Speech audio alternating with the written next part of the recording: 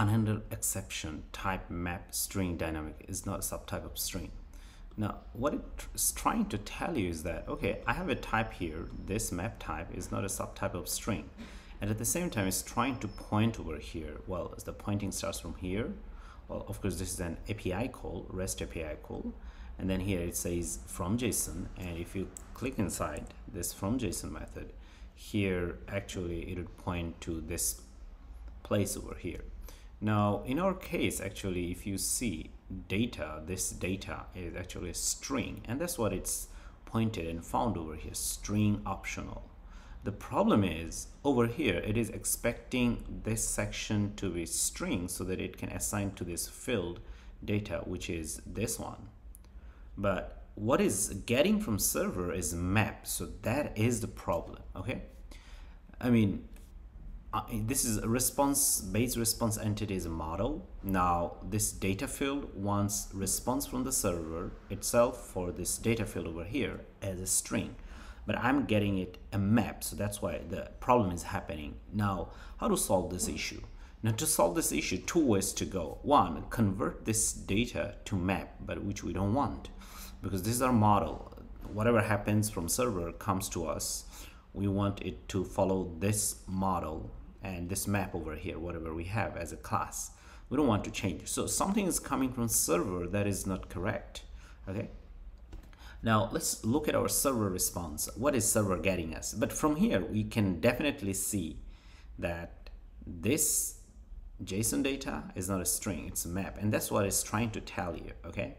So if you see this kind of error, you have to confirm with your model, model class, and then the fields okay our field is data. Data is a string okay? Now it is getting map so let's go ahead and check our uh, backend.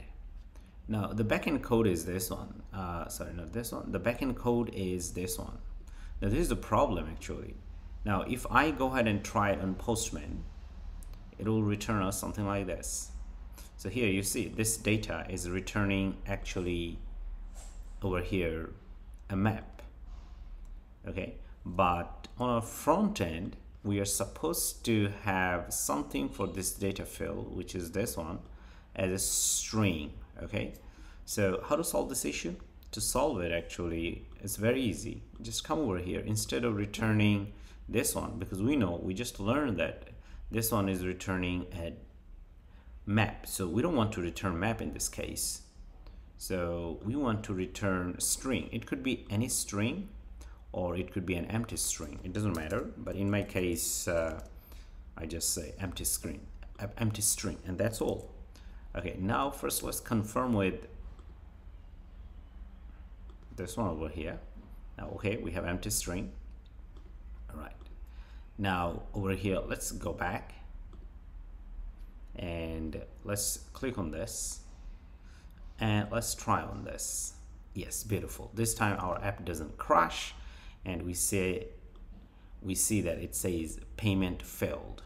Now of course this payment failed is a message that's coming from here because our status code is not 200 anymore right now. Uh, the code itself this code the one is our custom code which is not 200 uh, which is over here it's 400 but we are expecting 200 so we didn't get 200 so we just simply say okay your payment failed and that's beautiful